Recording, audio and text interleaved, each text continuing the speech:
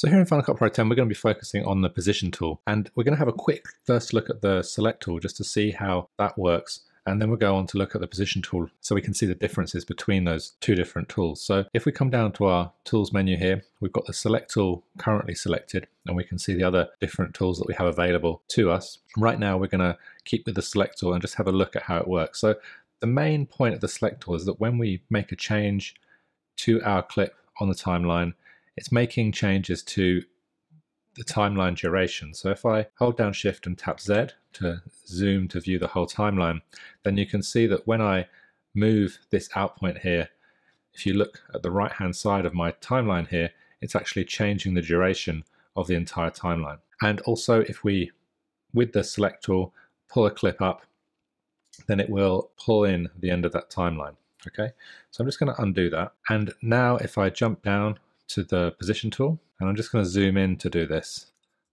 If we grab one of the out points here, you can see that instead of changing the duration of the timeline, what it actually does is it fills that space from the movement with a slug, so a clip that has no content within it. So the same applies if we lift a clip from the primary storyline. So if I click on this clip, and pull up, then it's going to lift that clip up from the primary storyline and leave a slug there so that the, the duration of the project doesn't take any time. The same thing happens when we delete a clip. So if we highlight a clip normally and press the backspace key on the keyboard, then it will pull in the content down the timeline even when we're using the position tool. So I'm just going to undo that. Instead of using the backspace tool, I'm going to use the delete key and just tap that and you can see now it does a lift delete where it lifts that clip from the timeline and leaves a slug of the same duration in its place. This is really great if you want to keep the timing down your timeline the same, but you need to make these kinds of changes. So again, you can see here when I'm making changes to that in point of this clip, it's keeping the rest of the timeline intact. Now I'm just going to zoom out a little bit here so we can see a bit more of the timeline. And I'm just going to use backspace to delete these slugs that we have here and show you one more thing that we can do with the position tool. So if we have a look at this small clip within these two clips here, I'm just going to zoom in.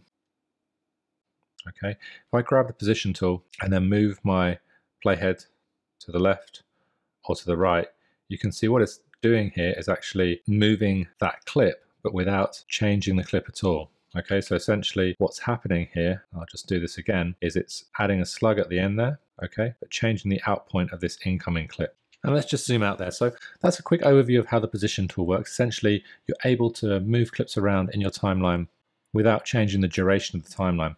Actually, there's one more thing that I want to show you here. I'm just going to grab this clip here.